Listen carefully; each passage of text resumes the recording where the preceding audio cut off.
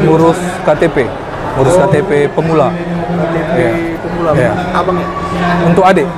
Oh, untuk Bang, dari mana tahu eh, ada program ini, Bang? Dari media sosial, ya. dari media sosial, Ah, dari Instagram, Pemko Medan. ya, Pemko Medan. Jadi hari ini ngurus KTP aja. Ngurus KTP pemula ya, bang. KTP pemula itu adik, Bang. Iya, untuk adik. Bang, abang namanya siapa, Bang? Nama Medi, Medi, Medi. Warga Warga Medan, Medan Perjuangan. Medan Perjuangan. Iya. Adik juga Medan Perjuangan. Iya. Oke, Bang, tentang eh, pendapat Abang lah tentang program yang pelayanan keliling ini, Bang. Namanya kan pelayanan keliling program Iya. ini. Kalau menurut saya ini sangat kegiatan positif ya karena karena kan seperti adik saya sangat terbantu. Dia setelah pulang sekolah bisa untuk mengurus KTP-nya seperti itu. Ini sangat membantu untuk warga-warga Medan lah seperti itu. Membantu ya. Iya. Warga Medan, alamat saya di Jalan Dorowati nomor 31 Medan Perjuangan. Oke, Kak. Dari mana Kakak tahu ada program ini, Kak? Kebetulan kemarin saya eh, main ke sini hari Jumat. Nah pas pas duduk di sini di kafe ini Kotong kan, kebetulan kan dekat Kotong. Jadi kita nanya-nanya gitu kan. Nah jadi kita semalam itu ngurus KTP seumur hidup gitu. Sangat bagus sih Pak ini programnya gitu kan, karena kita eh, lagi jalan-jalan ke mall jadi happy gitu.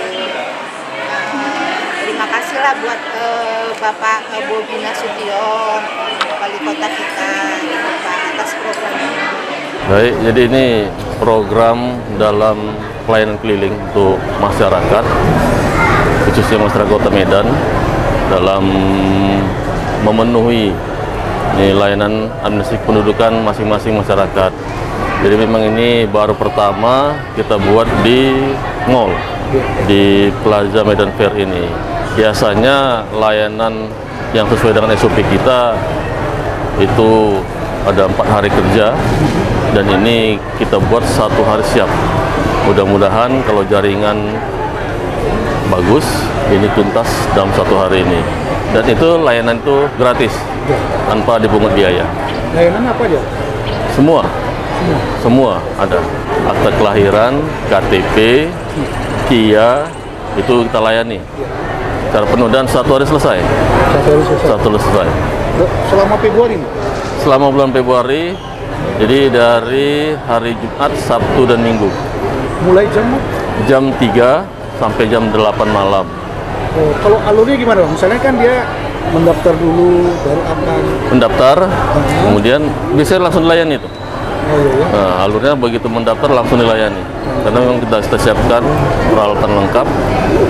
Jadi ya mudah-mudahan memang antusias masyarakat agak membeludak ini agak banyak. Ya mudah-mudahan dapat kita layani secara penuh. Jadi ini pada saat mereka jalan-jalan mungkin Oh iya. wah, wah, kita layani di sini Sambil jalan-jalan. sampai dulu. jalan-jalan langsung bisa langsung pelayanan administrasi nunggu siap, pendudukan bisa jalan-jalan bisa jalan-jalan selesai ya